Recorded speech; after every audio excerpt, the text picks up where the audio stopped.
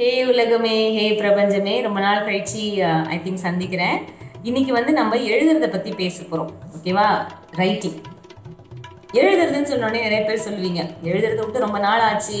எனக்கு என்னோட hand writing சுத்தமா கோழி மாதிரி இருக்கும். அதனால நமக்கு எழுத்தே வராது பாம்போம் நிறைய பேர் என்ன சொல்றோம்னா மொபைல் ஃபோன் டெக்னாலஜிலாம் வந்ததுக்கு அப்புறம் எழுதுறதுக்கு வேலையே இல்லாம போயிடுச்சு. ஸோ முன்னாடி இருந்த ஹேண்ட் ரைட்டிங் கூட இப்போ வரதில்லை அப்படின்னு எழுதுறதுக்கு நிறைய எக்ஸ்கியூசஸ் கொடுப்போம். பட் நான் வந்து அஃப்கோர்ஸ் கவிஞர் ஆகிறதுக்கோ கதை எழுத்தாளர் எழுத்தாளராக ஆகிறதுக்கோ இங்கே பேசல. எழுத்து வந்து என்னென்ன மாதிரி நம்மளுக்கு ஒரு பலனை தரும்?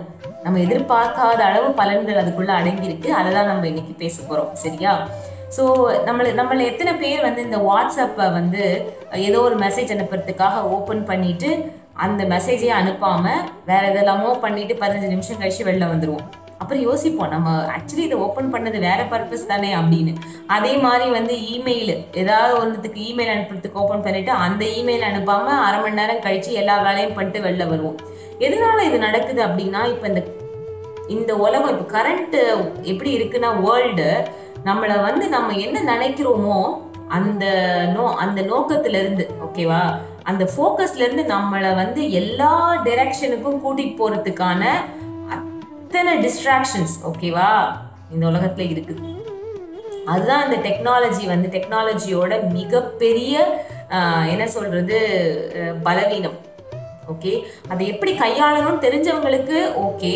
பட் இல்லைன்னு வைங்களேன் அதுல இருந்து வர நோட்டிஃபிகேஷன்ஸ் நம்மளை வந்து நம்ம என்ன ஆக்சுவலி செய்ய விரும்புகிறோமோ அதை செய்ய விரும்பாம நம்மளை வேற ஒரு பக்கம் கூட்டிட்டு போயிட்டே இருக்கும். ஸோ அதுதான் அதுக்கு தான் வந்து இது எழுதுறது அப்படிங்கிறது நம்மளை உண்மையிலேயே வந்து நம்மளுடைய மண்டைக்குள்ள இருக்கிற இந்த குழப்பத்தை இந்த இந்த என்ன சொல்றது ஏகப்பட்ட தாட் ஏகப்பட்ட என்ன சொல்றது இந்த கொ- இந்த குழப்பங்கள் இதெல்லாம் வந்து கிளியர் பண்ணி ஒரு தெளிவை கொண்டு வரதுக்கு எழுத்து வந்து ஒரு மிகப்பெரிய வரப்பிரசாதம். நிறைய பேர் இல்லை நான் எழுதி ரொம்ப நாள் ஆச்சு அப்படின்னு சொன்னீங்கன்னா சிம்பிளா நான் ஒன்றும் உங்களை வந்து நாலு பக்கம் எழுத சொல்லலை. ரெண்டே ரெண்டு லைன் ஒரு நாளைக்கு ரெண்டே ரெண்டு நிமிஷம் மட்டுமே செலவழிக்க ஆரம்பிச்சு பாருங்க. ஸோ என்ன செய்யலாம் பேசிக்லி அப்படின்னா நீங்கள் நீங்க வந்து டெய்லி காலையில எழுந்த உடனே இன்னைக்கு நான் என்ன செய்ய விரும்புறேன்? பேசிக்லி இந்த நாளை வந்து எப்படி ஒரு உபயோகமான நாளா நான் செலவழிக்க விரும்புறேன்? அப்படிங்கறத ஒரு ரெண்டு வரி. இல்லைன்னா இன்ன- இன்னைக்கு என்னெல்லாம் பண்ண வேண்டிய விஷயங்கள் இருக்கு? நீங்க ஹவுஸ் ஒய்ஃபாவே இருந்தா கூட இல்ல வீட்டுல நான் ஆஃபீஸ் போறதுக்கு இல்ல அப்படி தான் நான் என்ன செய்ய போறேன் அப்படின்னு தயவு செய்து அண்டர் எஸ்டிமேட்டே பண்ணாதீங்க. நீங்கெல்லாம் வந்து செய்ய வேண்டிய என்ன சொல்றது சாதனைகள் உங்களுடைய இந்த கிரியேட்டிவிட்டி வந்து நீங்க யூஸ் பண்ண வேண்டிய விஷயங்கள் வந்து நிறைய இருக்கு. அதை வந்து யூஸ் பண்ணாம அகெயின் இந்த டெக்னாலஜியில வந்து நம்ம உழுந்து டிஸ்ட்ராக்ட் ஆகி நம்மளோட நேரத்தை வந்து நம்ம வீணடிச்சுட்டே இருக்கோம். ஸோ எழுந்த உடனே வந்து இன்னைக்கு நம்ம என்னெல்லாம் செய்ய விருப்பப்படுறோங்கிறத ரெண்டு விஷயம் மூணு விஷயம் எழுதிட்டு இந்த விஷயங்கள் செய்யறது மூலமா என்ன பலன் அப்படிங்கிறதையும் கொஞ்சம் யோசிச்சு பார்த்தா பெட்டரா இருக்கும். அதுக்கப்புறம் வந்து அன்னைக்கு நைட்டு படுக்க போறதுக்கு முன்னாடி இந்த நாள் எப்படி போச்சு? இந்த நாள்ல என்னெல்லாம் நல்லபடியா போச்சு? என்ன நல்லபடியா போகல? ஏன் போகல? இப்ப நாளைக்கு வந்து இந்த ப்ராப்ளம் திரும்பி வராம இருக்கணும் அப்படின்னா என்னெல்லாம் வந்து ஆஹ், என்ன மாதிரி ஒரு மாற்றம் மாற்றத்தை ஏற்படுத்தினா நாளை நல்லபடியா எடுத்துட்டு போகலாம் அப்படின்னு பண்ணலாம். இன்னொரு சூப்பரான ஒரு ஒரு விஷயம் வந்து நம்மளோட வாழ்க்கையில ஒரு அற்புதமான ஒரு விஷயம். நம்ம என்ன விஷயத்துக்காக வந்து நன்றி உணர்வோட இருக்கணும் அப்படிங்கிறது. ஸோ ஒரு நாள் முடியும் பொழுது இன்னைக்கு வந்து என்னென்ன விஷயங்களுக்காக நான் வந்து ரொம்ப நன்றி உணர்வோட இருக்க பிரியப்படுறேன். ஃபார் எக்ஸாம்பிள் இப்போ இன்னைக்கு எடுத்துக்கிட்டிங்கன்னா வந்து இன்னைக்கு நான் ஒரு ஹாஃப் அன் ஹவர் எக்ஸ்ட்ரா தூங்குறதுக்கு எனக்கு வாய்ப்பு கிடைச்சிது. அப்புறம் வந்து ஃபுட் சாப்பாடு ரொம்ப டெலிஷியஸாக இருந்துச்சு. தேங்க்ஸ் டு மை மதர் அதுக்கப்புறம் வந்து மழை ரொம்ப அழகான ஒரு மழை. ஸோ வாழ்க்கையில் சின்ன சின்ன விஷயங்கள் எல்லாம் நினச்சி நம்ம சந்தோஷப்படும் பொழுது பெரிய விஷயங்கள் ஆட்டோமேட்டிக்காக நடக்க ஆரம்பிக்கும். நம்ம சின்ன விஷயங்களெல்லாம் அவ்வளோ முக்கியத்துவமே கொடுக்கறது இல்ல அதில் தான் ஆக்சுவலி நிறையா மகிழ்ச்சி அடங்கியிருக்கு. ஸோ அந்த மாதிரி நீங்கள் என்னென்ன விஷயங்களுக்கெல்லாம் அந் அந்த நாளில் வந்து ரொம்ப நன்றி உணர்வோடு இருக்க பிரியப்படுறீங்க? குழந்தைங்களுக்கு நீங்கள் இந்த பழக்கத்தை கொண்டு வந்தீங்கன்னா ரொம்ப ரொம்ப நல்லது. ஸோ தட் வாழ்க்கையில் அவங்க வந்து எல்லா வி- எல்லா விஷயத்துலையுமே நன்றி உணர்வோடு இருப்பாங்க. சும்மா குறை சொல்லிக்கிட்டே இருக்க மாட்டாங்க. ஓகேவா? அதுக்கப்புறம் வந்து ட்ரீம் ஜேர்னலிங் சில பேர் வந்து என்ன பண்ணுவீங்கன்னா ரொம்ப எக்ஸைட்டிங்காக ஏதாவது பண்ணணும் விறுவிறுப்பாக ஏதாவது பண்ணணும். தூங்கி எழுந்த உடனே உங்களால் உங்கள் கனவுகளை ஞாபகத்துக்கு கொண்டு வர முடியுதா? கொண்டு வர முடிஞ்சதுன்னா அந்த கனவுலேருந்து ஏதாவது உங்களுக்கு ஞாபகத்துக்கு வர விஷயத்தை எழுதுங்க. ஏன்னா வந்து உங்களுடைய ஆழ்மனது என்ன உங்களுக்கு சொல்ல வருது அப்படிங்கிறது தான் இந்த கனவுகளின் வெளிப்பாடு. இன்னொன்று வந்து கனவுகளில் சம்டைம்ஸ் உங்களுக்கு உங்களுடைய பிரச்சனைகளுக்கு பதில் கூட அந்த கனவுல வரும். ஆனா நீங்க எழுந்து ஒரு அமைதியா ஒரு அஞ்சு நிமிஷம் பத்து நிமிஷம் உட்கார்ந்து மொபைல் போனை கையில எடுக்காம யோசிச்சீங்கன்னா சம்டைம்ஸ் ஆட்டோமேட்டிக்கா இந்த கனவுகள் ஞாபகத்துக்கு வர ஆரம்பிச்சிடும் ஸோ நீங்க வந்து அந்த கனவுகளை எழுதி வைக்க ஆரம்பிக்கலாம். ஸோ ஏதாவது ஒரு விதத்துல வந்து நீங்க எழுதலாம். சம்டைம்ஸ் இப்படி போயிட்டே இருப்பீங்க. பிரில்லியண்டா ஒரு ஐடியா வரும். கடகடன்னு ஒரு பேப்பர் எடுங்க பேனா எடுங்க எழுதி வச்சிருங்க.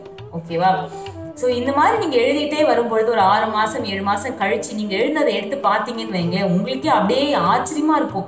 நம்ம தான் இதெல்லாம் எழுதியிருக்கோமா? இவ்வளோ ஃபிலாசபிலாம் இவ்வளோ விஷயம்லாம் நம்ம எழுதியிருக்கோமே நம்மளுக்கு இவ்வளவு என்ன சொல்கிறது ஞானம் இருக்கா அப்படின்னு. உண்மையிலேயே நம்ம எல்லாருக்குள்ளேயுமே வந்து அபரிமிதமான ஞானம் இருக்குது இந்த வெளி உலகத்தோட டிஸ்ட்ராக்ஷன்ஸ் தான் அந்த ஞானம்லாம் மழுங்கடிக்கப்படுது இன்னொன்று என்னென்னா வந்து ஹையர் பவர் நம்மளுக்கு நம்ம நம்மளை மீறின அந்த சக்தி வந்து எப்பொழுதுமே நம்மளுக்கு உதவக்கூடிய ஒரு ஒரு நிலையில தான் இருந்துட்டே இருக்கு. நம்ம வந்து டிஸ்ட்ராக்ட் ஆகி டிஸ்ட்ராக்ட் ஆகி தான் வந்து அந்த உதவியை வந்து ரிசீவ் பண்றதுக்கு.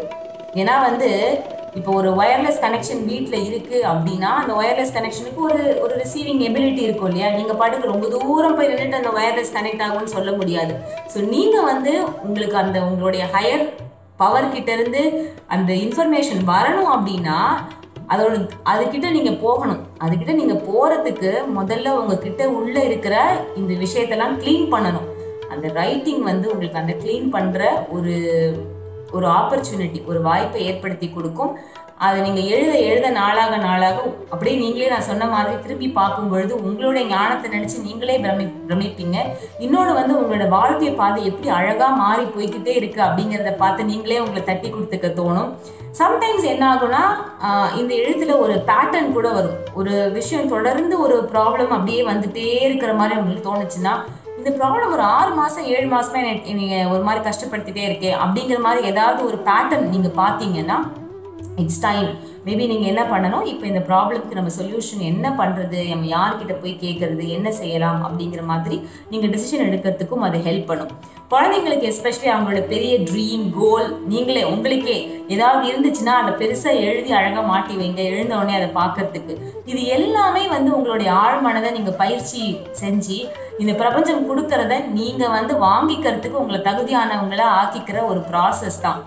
ஸோ எழுத்து வந்து உண்மையிலேயே அந்த மாதிரி ஒரு ப்ராசஸ் இன்னொன்று வந்து எனக்கு எப்படி எழுத்து ஹெல்ப் பண்ணுச்சுன்னா நான் சொன்ன மாதிரி ஒரு காலத்தில் எனக்கு ரொம்ப பயங்கரமான ஒரு டிப்ரெஷன் ஓகேவா மன அழுத்தம் விரக்தி இதெல்லாம் இருக்கும் பொழுது எழுத்து வந்து என்னை உண்மையிலேயே வந்து ஒரு ஒரு நல்ல நிலைக்கு கொண்டு வந்துச்சு. ஏன்னா அந்த அந்த ம- மன அழுத்தத்தெல்லாம் பேப்பரில் கொட்டும் பொழுது உண்மையிலேயே மனம் ரொம்ப ஒரு தெளிவான நிலை.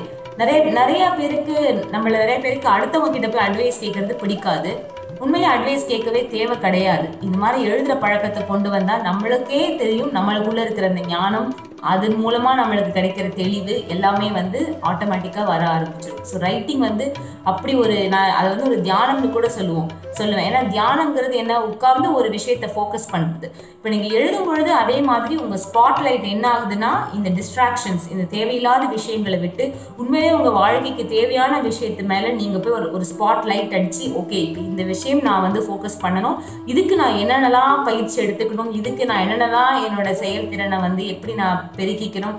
இதுக்கு நான் என்னெல்லாம் செய்யணும் பேசிக்கலி என்னெல்லாம் செய்யக்கூடாது அப்படிங்கிற மாதிரி தெளிவு வந்து ஆட்டோமேட்டிக்காக வர ஆரம்பிக்கும். ஸோ பேனா பேப்பருங்கிறது அப்படி ஒரு என்ன சொல்றது ஒரு பிரில்லியண்டான ஒரு விஷயம். நீங்க மொபைல் போன்ல டைப் பண்ணி சேவ் பண்ணினா கூட நடக்காத ஒரு விஷயம் வந்து இந்த பேனா பேப்பர்ல வந்து உங்களுடைய பிரெயினை வந்து ட்ரெயின் பண்றதுக்கான இந்த கையில பிடிச்சி எழுதி நீங்க பண்ணும் உங்கள் உங்க எழுத்தை யாரும் பார்க்க போகிறதில்ல நீங்க மட்டும்தான் பார்க்க போறீங்க. அதனால எவ்வளவு கோழிக்கு இருக்கலாம் இருந்தாலும் கவலையே படாதீங்க எழுதுங்க.